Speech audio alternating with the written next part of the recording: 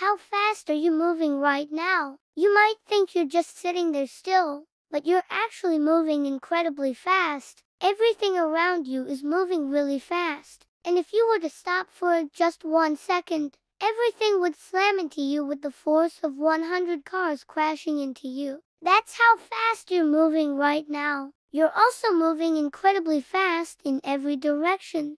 If you were to turn around right now, you would see all of these cars moving towards you at high speeds. They're not just sitting still. The world is in constant motion, and if you were to take a step back and look at it from a different perspective, you would see that we're all just moving dots on a screen. We're all just moving really fast in different directions. So the next time you're sitting still, just remember, you're not really sitting still. You're moving incredibly fast, and if you were to stop for just one second, everything would slam into you.